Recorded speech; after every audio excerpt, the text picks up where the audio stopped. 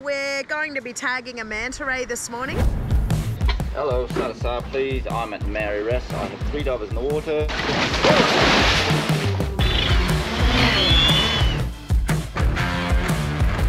To see it come from that to now being shown as being one of the healthier reefs on the entire Great Barrier Reef is an amazing story. The whole process of um, growing stuff out here is so different to what you see on the mainland. Okay, so we all know Lady Elliot Island. It's in Queensland, Australia. It's on the southern end of the Great Barrier Reef. But what are its stories that aren't really being told? Wait, wait, there it is.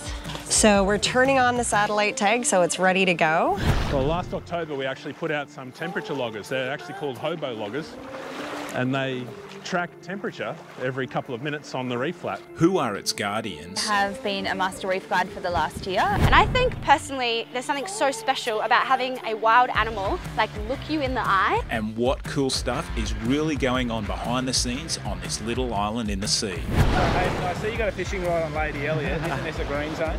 It certainly is a green zone and we're certainly not doing any fishing. From tracking its apex predators Woo! to looking into where life begins. There they are. Oh my god, that's so cute. That's a mantis shrimp. Oh, that's a, man- a mantis That's a baby mantis shrimp. And at low tide, when, when the water's very low, one of the top predators on the reef becomes the epaulet shark.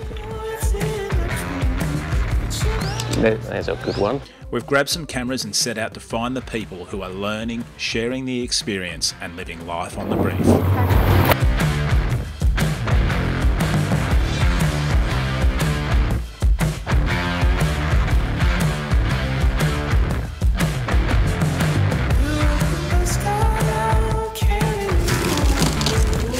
This will be for the tiger.